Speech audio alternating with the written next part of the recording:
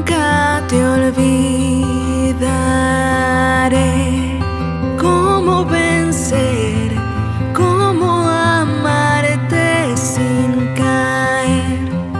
Por ti te miro y puedo decir, mis dudas se van de alguna manera ya.